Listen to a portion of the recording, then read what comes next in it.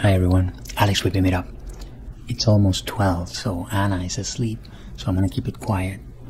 So this year, I asked Santa to bring me Autodesk fixing one-line isometrics. That hasn't happened yet, but I'm gonna give you a little Christmas gift. Don't get too excited, but I'm gonna show you how to hide pipes behind in one-line isometrics. Temporary fix, but I think it'll help you a lot. So going to give you an example of a one-line isometric and then we're going to hide those pipes behind using a masking pipe tag. Again, don't get too excited, it's just a temporary fix. I'm going to show you how to create that masking pipe tag and then I'm going to give you a couple of tips and tricks. See you in Revit.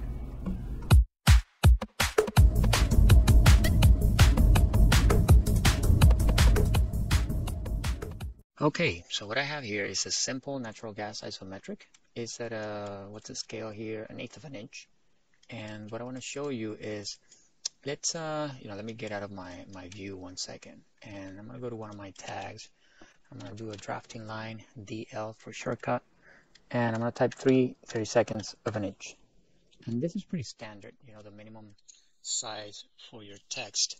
If you can see, it's pretty close to my H Actually, it should be exactly the, the size of an H or a T or a 1 or any top to bottom measurement in a letter for, for our text.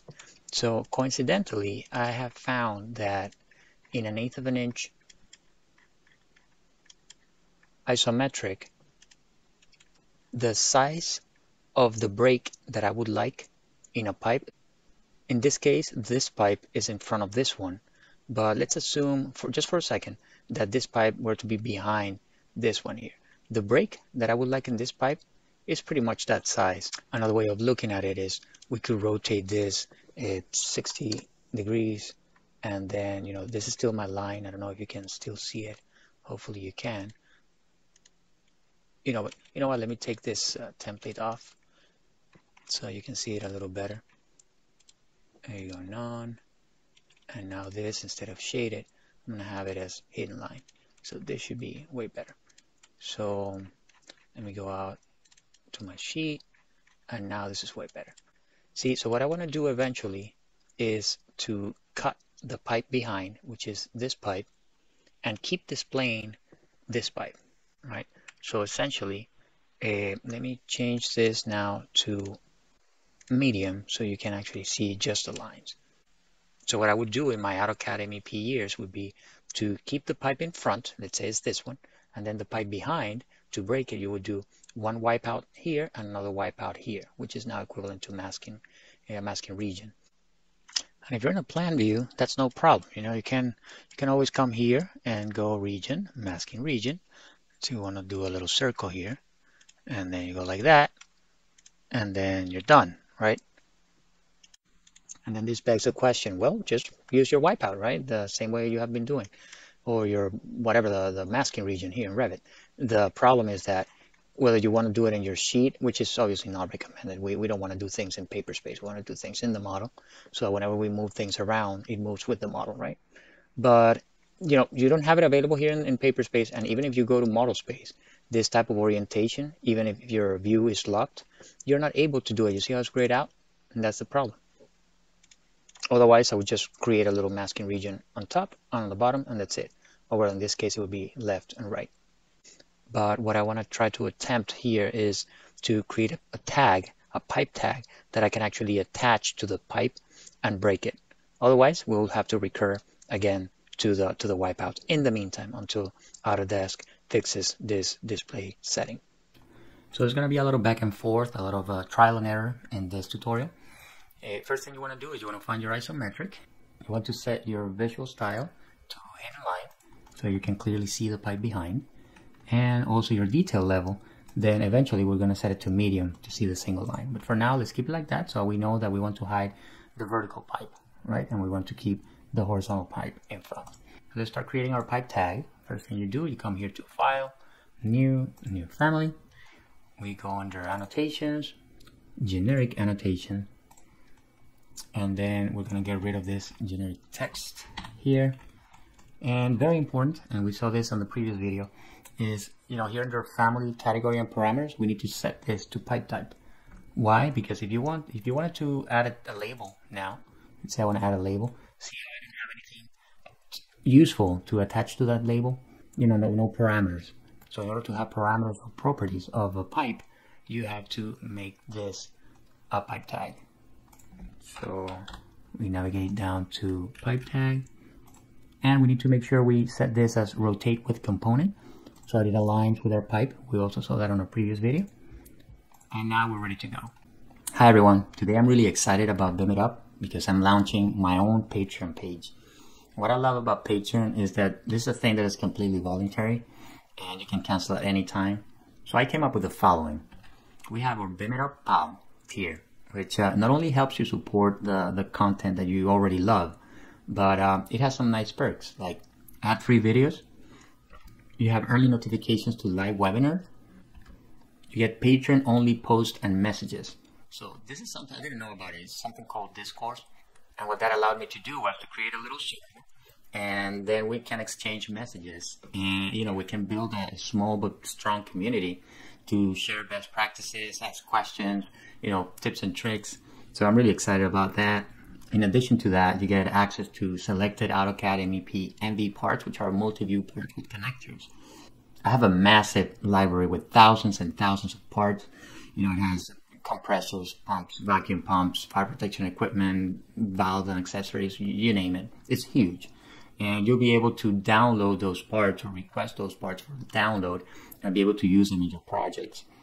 And in addition to that, you get selected AutoCAD MEP routing preferences all those threaded, groove and threaded, mechanical joint, flange, all those you'll be able to download and use them in your own projects. Then we have our Bim It Up Pro. Bim It Up Pro includes all the benefits that Bim It PAL has, and in addition to that, you get access to Revit pipe types. All those Revit pipe types that we've been talking about, they will be available for you to download and use in your own projects. In addition to that, you get exclusive voting power on upcoming videos. And if you want some tips on video topics, you can visit bimitup.com and there you'll find hundreds of different video topics. So at the end of the week, I'll count all the votes and then decide which video topic we're, we're going to cover here. You will also get access to all MP4 videos so you can download them and take them on the go. Jumping on a plane, no problem. No Wi-Fi on the subway, no problem. You have your videos there. And also you get guaranteed admission to all live webinars we still have that fire pump room and Revit webinar. We're trying to coordinate, guys. So let's let's make it happen. Uh, I know it has been hard to coordinate during the holidays, and then at the beginning of January, it's going to be a little tight because of the projects that we have to catch up. But let's make it happen in January. So I'm going to be posting probably today or tomorrow some tentative dates for people to choose from, and then we'll make it happen. Let's not let it pass January, please. So, and then finally, we have our It Up Ninja tier. It Up Ninja will include everything that It Up Pro has, and in addition to that, you'll get access to the scripted PDFs, which outline step by step the creation of families and other things that we cover here in the channel. You also get some exclusive access to selected Alex notes. And what those are, notes that I've been compiling over the years, and they're going to be downloadable in PDF format. And in addition to that, you get 50% discount on all premium Alex notes which include BIM and MEP topics that I've compiled over the 15 years of experience that I have and you know sharing best practices with peers. So I'm gonna let you take a peek at those notes soon in one of my future videos. You also get to live chat during live webinars. Everybody will have the option to ask questions at the end, but you know you get the option if you're a Bim It Up Ninja to live chat. You know, send me a question in real time while we're doing our live webinar. And then finally, you get access to selected Revit families. So all those pipe tags that we've been creating and any future families that we will create, uh, you'll be able to download them uh, over Patreon.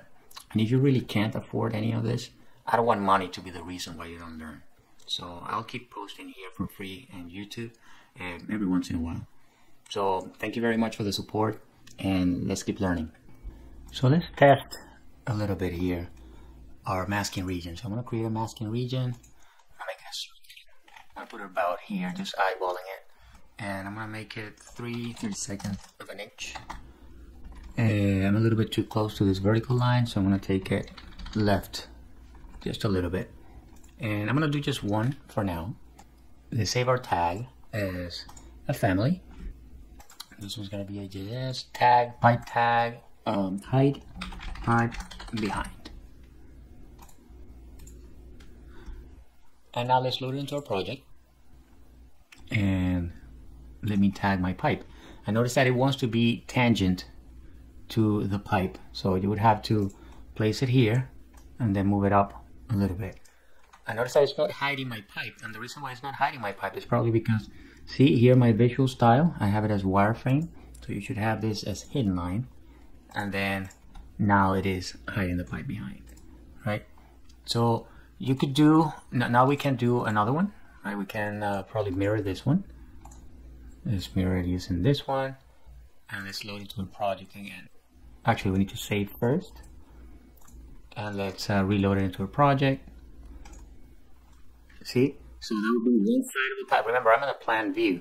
But what we want to do is, you know, this, this pipe here is going to have to be cut. It could be one masking region here and another masking region here, right? Now, I found that it is better instead of having uh, circles, it is better to have ellipses, you know, very thin ellipses. And that way, because what, what could happen, and I'm going to show you here, let's, let's change this to medium. And let me try to tag my pipe. Well, this one's huge. So we know that this is too big. Right? This will be too big. And, and this is actually a very small isometric. You know, notice this is one eighth of an inch. Typically you would have this at least at a quarter inch, so it looks a little better. Right? So this is a problem. The, the closer I get to completely hide the pipe that I want to hide, which is this one, with the circle, I start hiding this pipe. See, so that's why it's better to have some kind of ellipse or even a very, very thin rectangle. And just to help you out with some dimensions, I found that this ellipsis should have on the major axis a distance of about 1 32nd of an inch, and then on the minor axis a distance of about 1 128th of an inch. So a total of 116 and 164. So make sure you save it and you load it into your project and then it's going to look something like that. See, so in isometric, it would be, let me do TG for tagging. Yeah, you place it wherever you want first. I would actually like to place it very far away. And then you get it close to the intersection. Obviously, this is useful not in two line display. This is useful in single line display so you can hide that pipe. And you want to put that, you know, at the intersection right there. You know, kind of eyeball it. And it will be hiding this. And obviously, you don't, you don't want to see this ellipses here. So let's get rid of them. Let's get rid of family. And the way you do that is you come here and then you do edit sketch and you make sure that this geometry, both this and this, are set to invisible lines. And then you finish sketching. We load into a project, see how they disappear in the family. There you go. So now we're hiding that pipe behind. And obviously if you want to do the other one, then you would align to the vertical pipe. Then bring here. Obviously we need to get rid of the other one. So it is not perfect, but it's a temporary solution. And obviously the, the closer you get those two ellipses to each other, the smallest this pipe is. But at the end of the day, you know, you're printing this at a, such a scale that you won't notice. Uh, and again, this is not the most practical or elegant solution because you're going to have to be doing this all over the place. And that's not what we want to do. But what we want to do is to have Autodesk fixing this so that we are all a little happier. So make sure you vote. I want to remind you that I'm going to have this pipe tag available for my patrons to download as well. And I almost forgot, if you become a Bim It Up Ninja, you get this really nice magnet that you can put in your fridge to brag about your privileges. And if you have enjoyed this video, make sure you like it down there. Subscribe to the channel, hit that bell so you get notified. Thank you for watching and see you on the next video.